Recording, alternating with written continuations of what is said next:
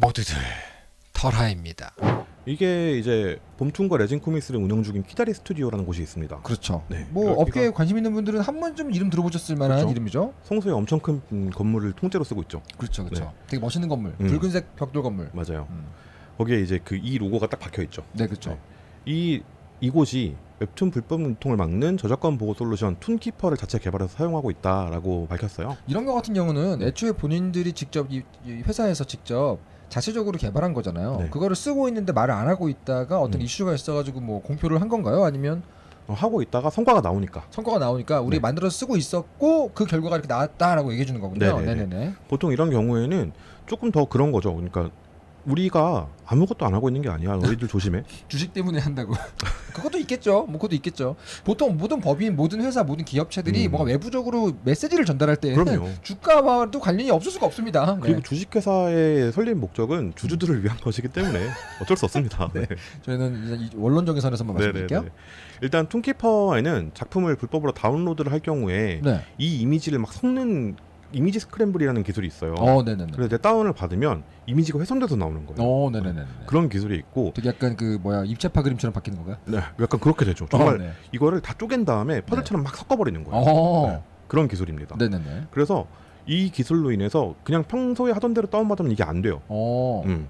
그리고 다른 방식으로 수집을 하더라도 네, 일단 유료 회차 분량 같은 경우는 로그인을 해야 되잖아요. 그렇죠. 그럼 이 사람들이 뭘 하는지 추적할 수 있거든요. 네네네. 그래서 이 사람이 불법 이용자인지 아닌지를 식별하는 기술이 또 있습니다. 네네. 그거에 따라서 이 사람이 무슨 행동을 했고 그게 다운로드나 아니면 캡처에 해당되는 것 같다라는 음. 사람들의 정보를 파악할 수 있어요. 어, 음. 네네네.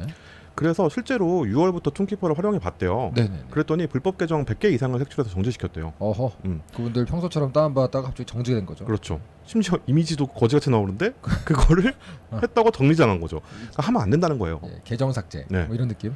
그러니까 저는 여기서 그런 것도 있습니다. 그러니까 저는 연구를 하는 입장이니까 네. 이 컷의 연출을 보여주기 위해서 캡처를 해야 되는 경우가 있어요. 있죠, 있죠, 네. 있죠. 그런 경우에는 별도의 툴을 좀 만들어줬으면 좋겠어요. 음. 그러네요. 네, 그 카카오 웹툰처럼. 학술 활용이라거나 네네네. 교육 활용이라거나 아니면 공정 언론 활용 같은 것들 음. 있잖아요. 그럼 공정 활용에 대한 것들은 이제 이 다음 단계로 나올 거라고 예상은 하는데 네. 요 단계가 잘 되면 그 다음으로 갈 수 있겠죠. 이게 돼- 일단 돼야 돼요. 지금 안 되고 있는데 요청을 하면 안 되죠. 네, 불법에 쓰일 수 있는데 어떻게 합니까?라는 말이 돌아오거든요. 그렇습니다. 지금 이 막는 어, 기술이 정말 중요합니다. 집에 그래서. 불이 났는데 엄마가 아이한테 공부는 했니? 야, 숙제는 했어. 불 끄고 있잖아. 이런 느낌이거든요. 그러니까 일단 요거 잘 하고 그래서 일단 이 솔루션으로 불법으로 유출한 이용자에 대한 범죄 사실을 입증하는 것은 물론 네. 이용자를 특정하는 것까지 가능해서 실효성 있는 형사 고소를 진행할 수 있다라고 밝혔습니다. 아 너무 좋다 그러니까 이거. 이게 증거 능력이 있는 자료인 거예요. 그렇죠. 왜냐면 그런 종류의 계정 중 하나가 음. 대형 불법 웹툰 사이트에 그 작품을 계속해서 옮기는 음. 운영자일 수 있는 거잖아요. 그렇죠. 렇게 하나씩 잡아가는 게 중요한 것이죠. 음.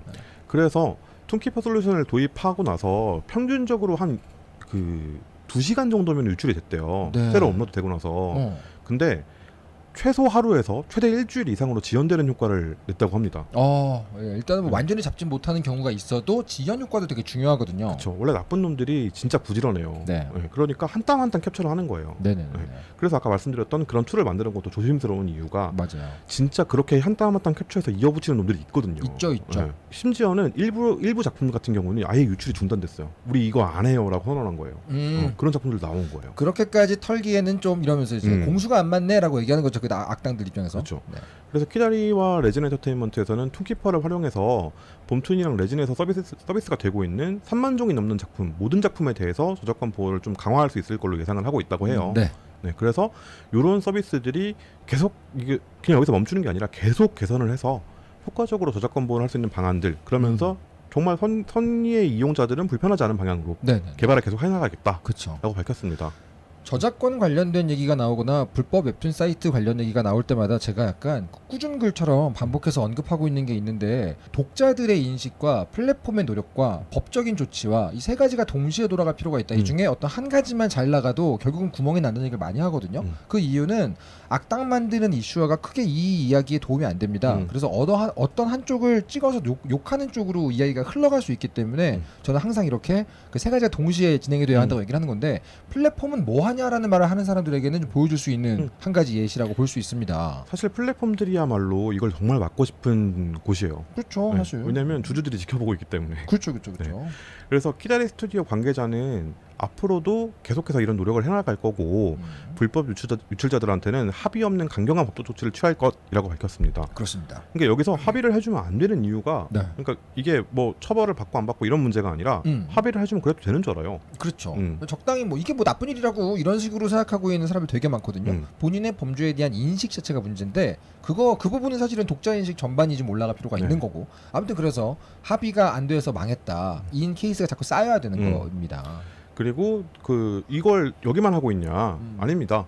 네이버 웹툰은 툰레이더라는 기술이 있고요. 툰레이더. 이 툰레이더는 AI를 활용해서 이제 그 DRM이 들어간 이미지가 어디에 올라왔는지를 찾아내는 거예요. 그렇죠, 그렇죠. 그런 기술을 가지고 있고 그리고 카카오 엔터테인먼트에서는 불법 웹툰 전담팀이 있어요. 음. 피콕이라는 곳이 있는데 여기서 어, 자체 기술을 개발하고 심지어 해외에 나가서 불법으로 업로드하고 막 이런 사람들 있잖아요. 네네네. 그런 사람들을 만나서 인터뷰까지 해요. 그렇죠. 네. 어, 왜 했냐? 어. 하면 안 되는 거 몰랐냐? 그럼 여기서 어떤 이- 인식이 있는지를 알 수 있는 거잖아요. 그렇죠. 거기에 맞춤형 캠페인을 하기 위해서 그런 행동들을 하고 있어요. 그 되게 중요한 거거든요. 이게 양적인 어떤 대응이 아니라 질적인 대응에 굉장히 품이 많이 들어가는 부분인데 그걸 하고 있다는 거고요. 네. 모처럼 되게 감사하고 좋은 소식이네요. 그리고 다른 플랫폼들 같은 경우에도 아예 모니터링 꾸리고 있는 것은 거의 대부분의 플랫폼이 다 꾸리고 있다고 보시면 되고요. 그렇죠, 음. 그렇죠. 일단은 그 네이버 웹툰의 기술 툰레이더는 네. 그 라라 크로포드의 툼레이더의 어떤 오마주나 패러디 같죠? 그렇지 않을까요? 어, 왠지 그럴 그렇- 것 같아요. 왠지 예. 그렇죠? 덕후 회사니까. 네. 어, 그렇지 뭐 기본적으로 덕력이 있기 때문에 그럼요. 네. 그렇습니다. 좋습니다. 네네네.